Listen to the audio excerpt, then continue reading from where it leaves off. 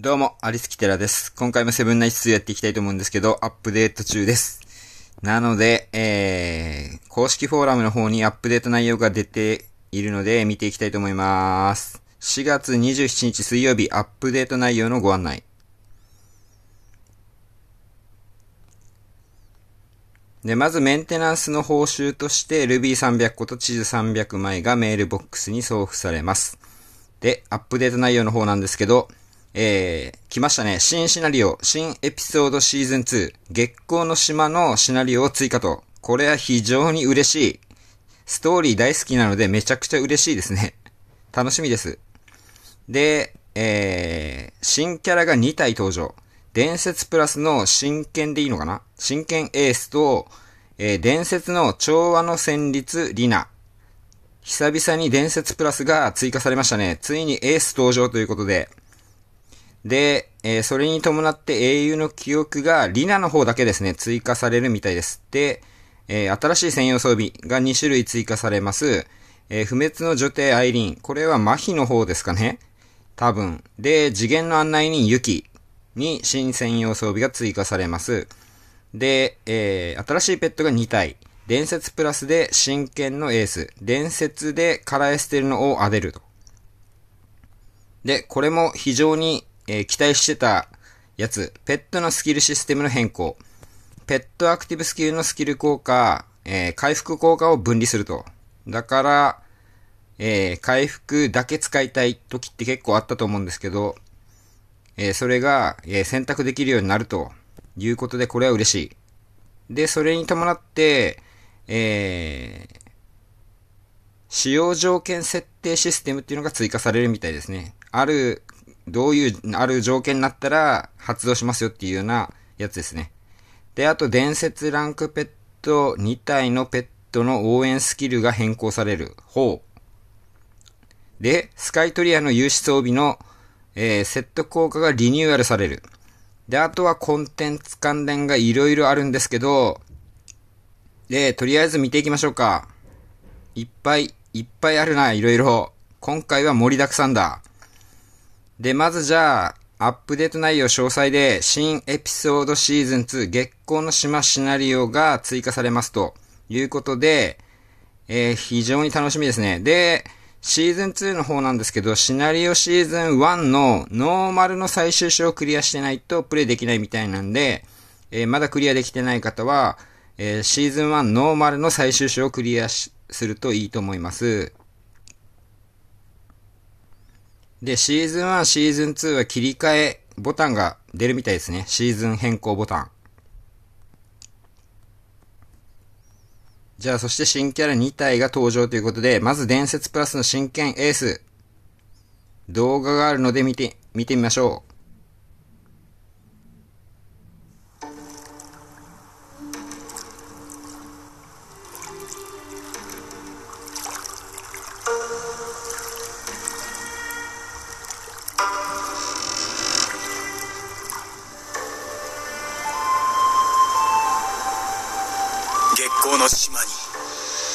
な風が吹いてきた。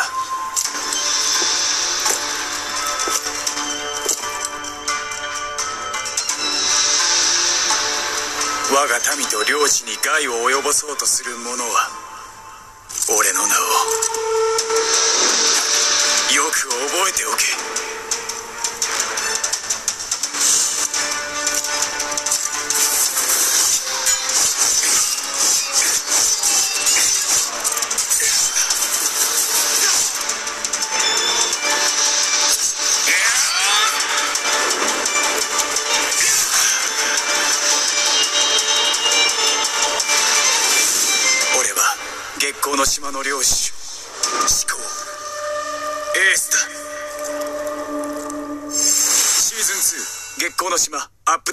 今すぐダウンロードうん、というわけで、エースでした。いやー、かっこいいですね、エース。じゃあもう一体、伝説の方、調和の旋律リナの方も動画があるので、見ていきたいと思います。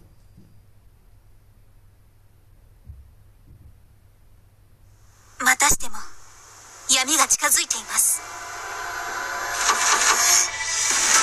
諦めなさい未来は変えられないが破滅の瞬間を黙って見過ごすわけにはいきません。万物の調和を。新キャラ調和の旋律リナ登場。未来は私たちの手で紡いでいくものなのです。セブンナイツ2今すぐダウンロード。というわけで、伝説リナさんでした。あっとっとっと、なんか止まって止まって、あ、ちょっと待って止まって、オッケー。というわけで、キャラの方の性能は、後ほど、えー確認したいと思います。で、えー英雄の記憶が1種類追加ということで、えーせリ、リナの方ですね。リナの方だけ追加されるみたいですね。エースは追加されないんですね。なんでかわかんないけど。で、あと新専用装備が2種類追加。で、一つが不滅の女帝アイリーンですね。伝説のキャラですね。で、嵐の槍に麻痺100%効果が追加されると、うん、なかなか強いんじゃないですか、普通に。で、えー次元の案内人ユキの方は、えー破壊の高速に自分にネガティブバフ解除効果を追加、自分にシールド効果を追追加。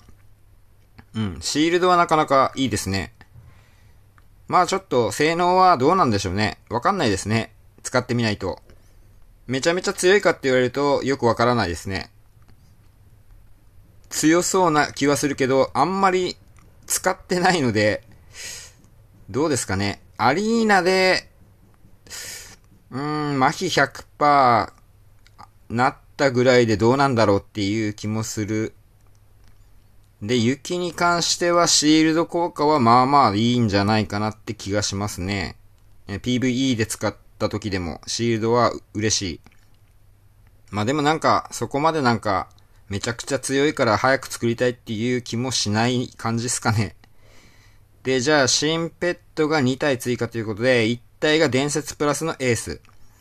で、アクティブスキルが分離できるようになってるみたいなんですけど、アクティブ1の方が、えー、回復と6秒間のダメージ免疫。で、アクティブ2の方、究極技ゲージが30%上昇。味方全員に30秒間攻撃力15%上昇。うん。これはタイミングによってはまあまあ使える感じのスキルになってますね。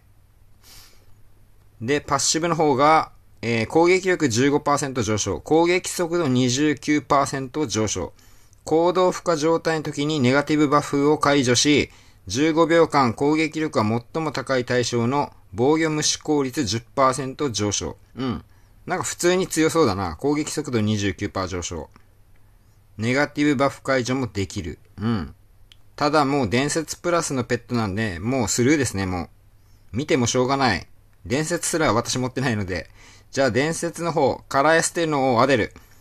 で、アクティブ1の方が HP 回復。で、アクティブ2が、味方全員に20秒間ガード率30%上昇。うーん、どうなんでしょうね、これ。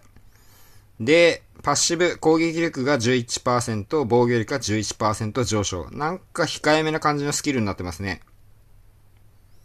ガード率が30%上昇なんでどうなんでしょうアリーナとかの開幕で打つってことなのかなよくわかんないですね。使ってみないと何とも言えないけど、そもそも、えー、手に入るかどうかも怪しい。で、伝説プラスランクの新ペット、エースを獲得すると、プロフィールフレームが獲得できます。うん、これはもらえないからいいですね。無視しましょう、もう。さあ、じゃあ、ペットのスキルシステムの変更ということで、えー、アクティブスキルをペットの応援とペットのサポートに分離し、ベッドに使用できるように変更しますということで、まあ、ボタンが3つぐらいになるんですかね、これ。で、回復、ダメージ免疫、ネガティブバフ解除などのスキルはペットの応援に。で、それ以外のアクティブスキルはペットのサポートに分離されますと。で、クールタイム、スキルクールタイムは同じみたいですね。で、ペットスキルの使用条件の設定ができるということで、えー、ペットスキルの設定は放置型フィールドとアリーナとギルド戦にのみ適用されると。まあ、それ以外は手動でやるっていうことみたいですね。で、えー、気になる、えー、設定システムの内容が、えー、アクティブ1の方、ペットの応援、回復とかできる方ですね。使用条件が HP みたいですね。HP の条件設定ができると。編成したキャラの HP が、設定値より低い場合に発動すると。うん。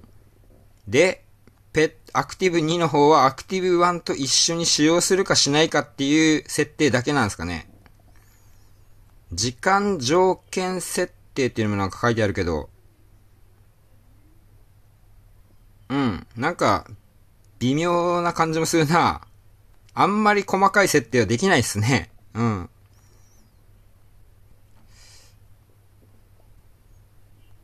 で、伝説ランクペット2体のペットの応援スキーの変更ということで、私これ非常に気になりましたね。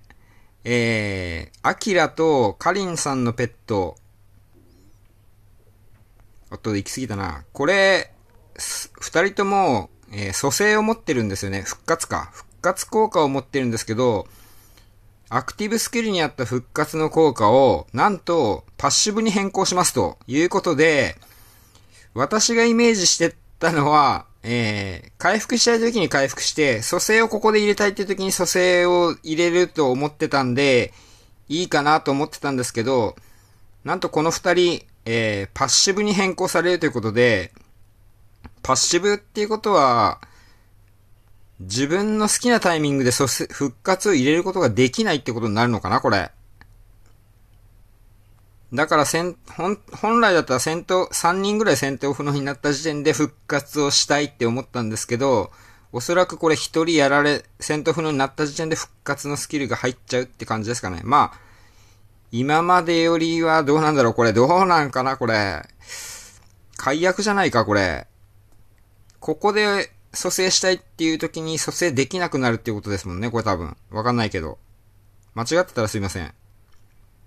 ただ私が愛用してるギガンテスについては何も書いてないないんで、ギガンテスさんは自分の好きなタイミングで復活できるから、まあいいでしょう。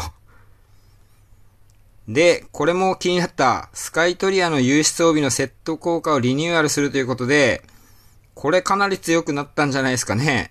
えー、防御無視効率が上がるっていうのが、まあ、スカイトリアセットの売りだったんですけど、それだけだと多分今のアリーナでは使っていけない感じがあったんですけど、え、そこに PVP において攻撃速度を上昇させるという効果がつくみたいですね。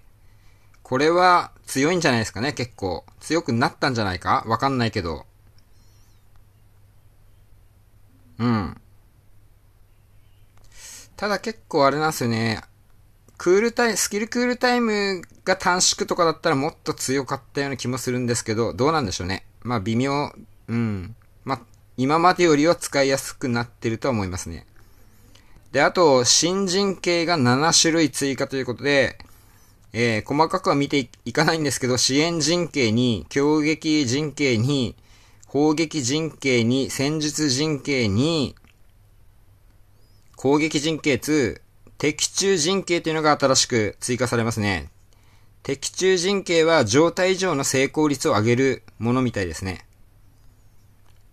まあ、ちょっと陣形も実装されてから見ていきたいと思います。で、あと、これもいいですね。地図の獲得先が追加されると。放置型フィールドをよりお楽しみいただけるように、雑貨ショップの通常ギルドアリーナ友情ポイントにえー、地図を購入できるようになるということなんですけど、えー、通常の方、2000ゴールドで1日16回まで地図5枚買えると。だから、1日に80、80枚かなで、残りがルビーなんですよね。ルビーを割れば、買えると。で、ギルドの方。ギルドの方はギルドコイン。で、こちらも1日16回までと、80個。で、アリーナの証も16回までで25個使います。で、あと友情ポイント。ここがやっぱり一番貯めたいとこかな。友情ポイント。なかなかフレンドさんがすぐいなくなっちゃうんで、なかなかたまらないかもしれないんですけど、えー、20回までなんで、えー、友情ポイント毎日200個使えるのかなうん。これで100枚ですかね。20、20回なんで。で、えー、事前にも情報があった放置型フィールドの改変ということで、えー、地図の消費枚数ですね、が変更になると。今まで30枚だったのが難易度に応じて1から4枚になるということで、えー、だいぶ周回ができるようになると。で、えー、高級、高級地図の方も、えー、変更になります。今まで3枚だったのが1から4ということで、ベリーハードの4だけはなぜか増えてる。ここ3でよかったんじゃないのかなうん。小、あの、地図を減らすんだったら、と思いましたけど。で、えー、放置型フィールドなんですけど、えー、ミッションクリアの報酬と段階報酬のバランス調整が行われるということで、まあ、地図の獲得先が増えたということで、減らされるみたいですね、報酬が。今まで地図消費数200枚のところで、ルビー100個もらえてたのが、ルビーが60個に減ると。うん。残念ですね、ちょっと減っちゃうと報酬が。まあ、その代わり地図がもらえ、たくさん取れるようになるんで、まあ仕方ないのかなっても思いますね。で、あとこれですね、放置型フィールドオフライン自動プレイ機能実装。これめちゃくちゃ気になったっすね、これ。これいいなと思ったんですけど、これ、下の方にちょっと条、条件があったんですけど、えー、どこだったかな？えー、っと、あれ？どこに書いてある？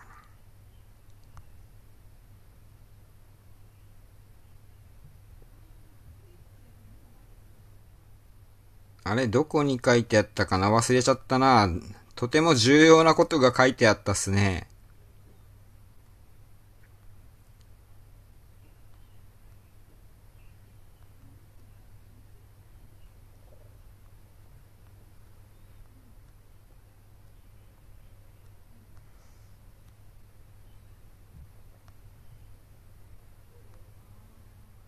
あ、これですね。オフライン自動進行システムは自動分解システムが適用されている状態でのみ利用できますということで、自動分解システムが適用させるためにはですよ。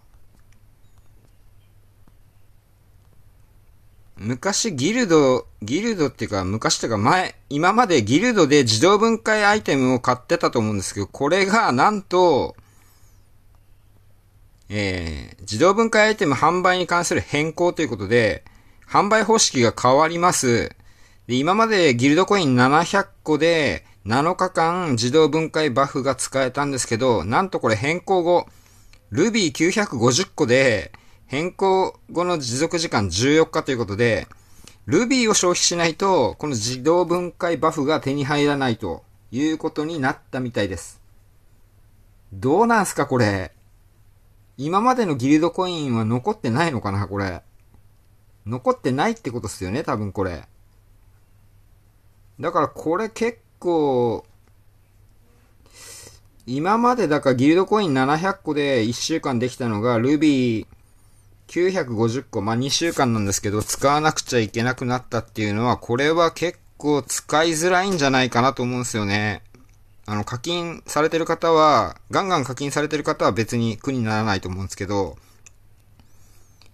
いや、これは結構、痛いかなと、なかなかこれ、私はちょっとこれ、使わない可能性出てきましたね、これ。オフラインモードは。まあ、そこが気になりました。で、まあ、あと、まあ、やる方にはちょっと教え、教えてるから伝えておきたいんですけど、一応これ一回クリアしてないと、えー、ダメらしいので、自分が周回したい場所、難易度を一度クリアしてからじゃないと、えー、そこに行けないらしいので、えー、で、どこもクリアせずに行っちゃうと、なんかイージーの一番下、簡単なところになっちゃ、なっちゃうらしいので気をつけてください。で、あとはまあ、チーム戦闘力によってクリア時間が変わりますっていうことですね。いや、この自動分解アイテム、マジで痛い。これ使ってみたかったけど、これ Ruby 消費するのはちょっとどうかな。で、あと次ですね。熟練度ポーションが実装されますと、で、熟練度の経験値を上げるためのあれですかね。で、場所もなんか熟練度っていうのが分かりやすくなったみたいですね。レベルアップ超 S の横に熟練度が追加されるみたいですね。で、熟練度ポーションの方は、えー、放置型フィールドで獲得できるみたいです。まあ、これはいい情報修正ですね。で、あと、まあ、新規さんとかのためなんでしょうか。メインシナリオ及びレードのバランスが調整ということで、えー、まあ、難易度が下がる感じですかね。調整後は敵の、えー、状態以上成功率が下がると。で、あと、ノーマル及びハードの一部モンスターの攻撃力、防御力、HP を5%調整しますって書いてるんですけど、おそらく下方ですよね。えー、5%を減らすっていうことだと思うんですけど、難易度を下げるっていうことだと思います。で、あと、状態上免疫キャラが必要なクエストの場合、状態上免疫を持つキャラを必須キャラとして編成できるようにガイドを強化します。これもちょっと気になったっすね。えー、必ず入れなきゃいけないのか、まあ、持ってない人にとっては多分、えー、キャラが、えー、勝手に入ってきて使えるっていう意味だと思うんですけど、使いたくない時もあると思うんですけど、それはどうなんでしょうね。ちょっとわかんないですね。で、4人レードのボスの状態上成功率も調整すると下がる感じっすね。だから、免疫があんまり足りなかった人でもいけるようになると、ただ、9段階目までですね。10段階目以降は変わってないですね。で、あと、新規復帰カーニバルイベントがありますと、まあ、ありますっていうか永続なのかな、これは。で、新しく入ってきた、新しく始めた方や、えー、復活したユーザーですね。で、ミログインが15日以上ですね、復帰ユーザーは、このアカウントバフが適用されると。で、まあ、アカウントの経験値の獲得量が300%とか、熟練度経験値が300%とか上がるっていうことで、まあ、多少でも追いつけという感じですか。で、あと、ログインイベントの、えー、変更ですね。で、新規さんはこんな感じで色々もらえます、たくさん。で、えー、一般の方もなんと報酬変わりましたね。これはすごい嬉しかった。これもだいぶ豪華になりますね。ルビーの数も増えるし、地図の枚数とかも増えるんで、で、トパーズとかももらえる量増える。だいぶこれは情報修正されてる感じですね。うん。嬉しい。これは嬉しい。うん。豪華になりましたね。ログイン報酬。で、復帰傭兵団員の方の報酬も強化されてると。だから、今からえー、セブンナイツ始めたい人、もしくは一回心折れたかわかんないけどつまんないっつってやめた方も、えー、今ちょっと、復帰したら色々もらえるんで、またやってみてほしいなって思いますね。で、あと、えー、28日ログインイベントの、えー、28日目の報酬、伝説キャラ召喚券に、えー、伝説キャラが新しく8体追加されるということで、えー、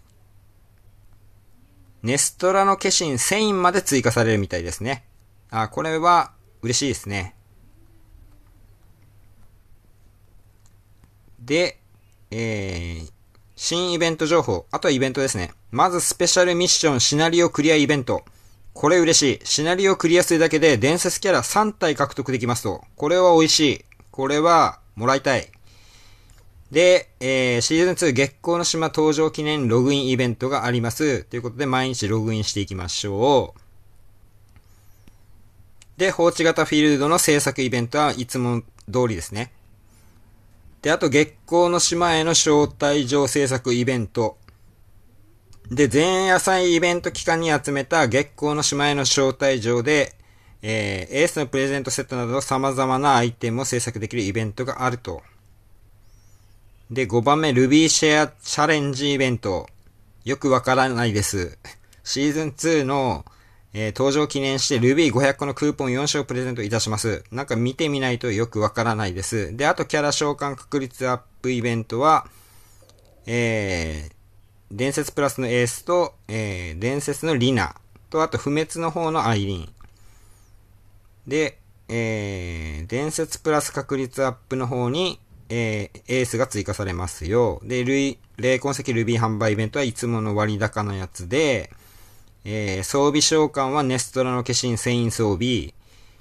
で、えー、追加されたキャラの成長支援スペシャルミッション。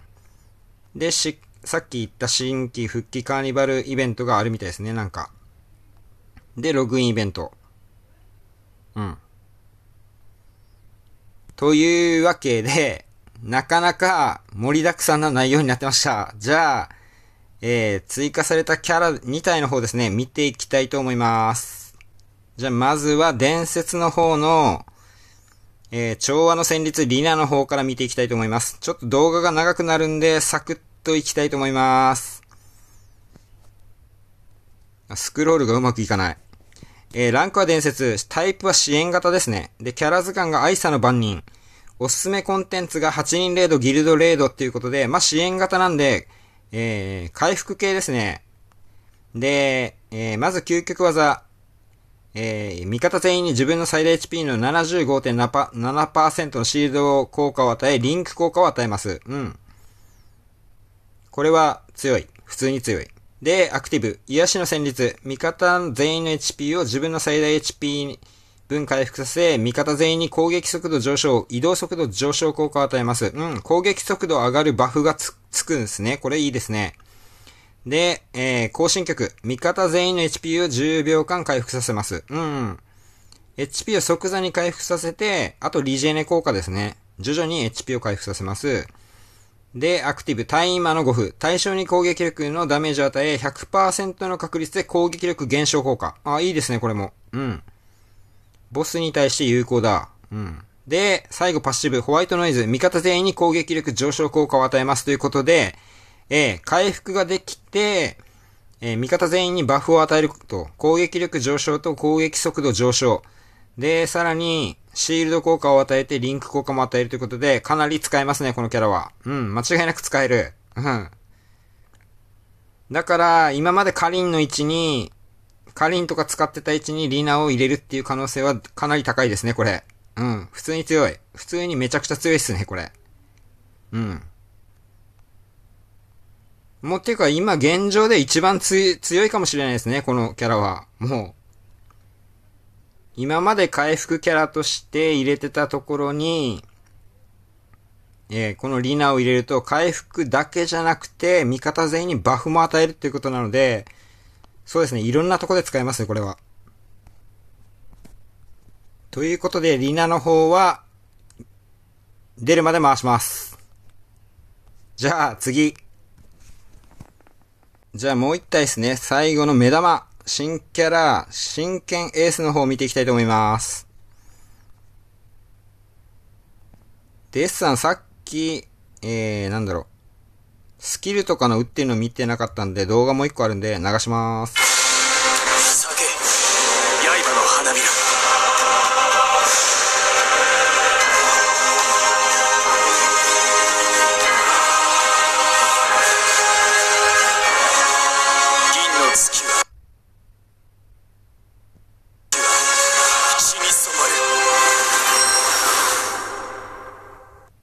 いや、めっちゃかっこいいな、このスキル。花びら散って。なんだ、かっこいいな、やっぱり。じゃあ、ちょっと途中で、えー、なんか、通信悪くなったんですけど、えー、じゃあ、見ていきましょう。ランクは伝説プラス、タイプは万能型、キャラ図鑑は思考ですね。えー、4人いるんですけど、そのうちの1人ですね。で、おすすめコンテンツがアリーナギルド戦ということで、まあ、アリーナに特化した、PVP に特化したキャラになってるみたいです。で、究極技、村雲石器、石器月夜か？なんだこれ？なんて読むんだ？わかんないな。えー、無敵状態で自分を中心に円形範囲にいる全ての敵に攻撃力のダメージを与え、えー、確率で転倒効果を与えますと。うん。普通に強い効果ですね。うん。で、アクティブ。えー、自分を中心に円形範囲にいる全ての敵に攻撃力のダメージを与え、100%の確率でポジティブバフ解除効果を与えます。うん。ポジティブバフも持ってる。で、えー、三つ目、無敵状態で自分を中心に円形範囲に全ての敵に攻撃力の防御無視ダメージを与え、気絶状態の対象には攻撃力の追加ダメージを与えます。うん、これも強そう。防御無視。さ、さらに気絶相手にダメージが跳ね上がると。で、アクティブ。対象に向かって突進し、自分を中心に前方直線範囲にいる全ての敵にダメージを与え、100%の確率で防御力減少を引き寄せ効果、追加で60%の確率で気絶効果。うん、強い。普通に強い。うん。開幕でこれが放たれるわけですね、多分。うん。強いですね。普通に強いですね。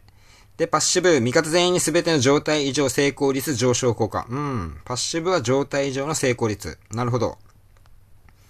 状態異常が気絶と、えー、転倒効果を持ってると。うん。全部範囲攻撃。うん。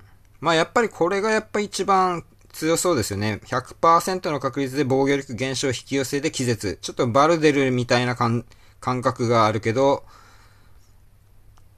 で、無敵状態で行くんで、無敵状態っていうのは、えー、行動不能状態でもあるんで、まあダメージに対する名権もちろんあるんですけど、行動不能状態もあれするんで、これは強いですよね。あの、スキル打とうとした時に、えー、状態以上にさせられることがないっていうのは結構強いっすよね。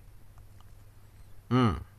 ただこれ見た感じも完全にあれですね、PVE では使わな、使えない感じの性能ですね。前回のエヴァンは、えー、PVP より PVE の方が使える使えちゃうんじゃないかっていうぐらいなんか、性能でしたけど、今回はもう完全に PVP 寄りですね。うん、PVE での使い道の方がま、な、すぐには思いつかないぐらいの感じですね。うん。